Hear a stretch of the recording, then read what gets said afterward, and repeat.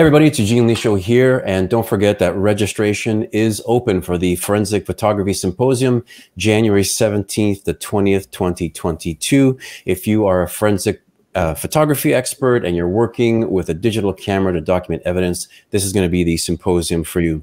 Also, don't forget that abstracts are still open. So if you want to submit an abstract or a presentation, they are due on, or the, the abstract deadline is due on November 30th. Uh, with me today, I have David Larraguibel, and he has a significant amount of experience photographing at post-mortem examinations. And David, first off, thank you very much for being here. And uh, I have to ask you, um, what kinds of issues do you find at post-mortem examinations, at autopsies, and how do you get around some of these things? Uh, well, the the main environmental issue in photographing a uh, postmortem examination is that we're working in a very wet and reflective environment.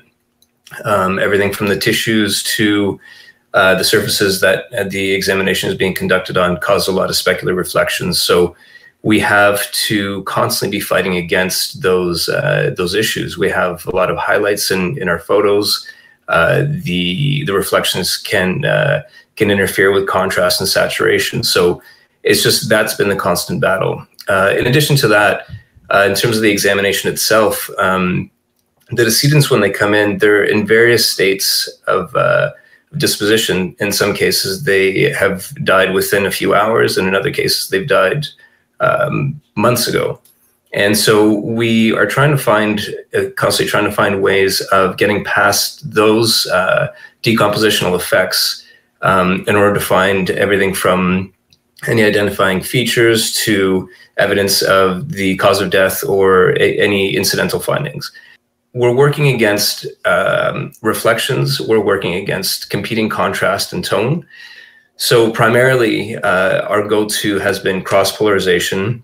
So, that's where we're leveraging uh, the light source, um, a controllable light source, and uh, using a linear polarizing gel.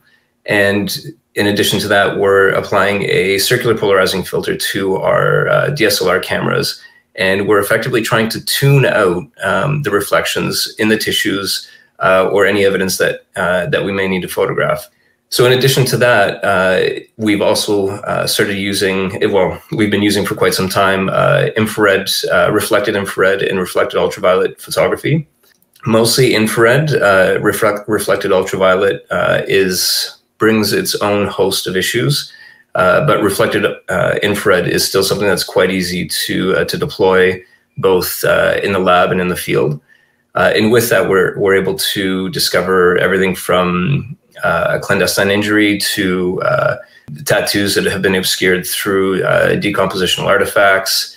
Um, we're able to find firearm discharge residue on dark clothing we're able to find uh, uh, blood patterns uh, in the clothing that, that we're also photographing. So the the the combination of all these different uh, modalities has really been um, kind of when we take a step back and look at the entire investigation holistically, uh, they're all kind of part and parcel. You know, we traditionally it's been just white light, and everybody thinks of photography as just working in white light, but um, we're trying to expand that to to think in all uh, all the spectra that we have available to us.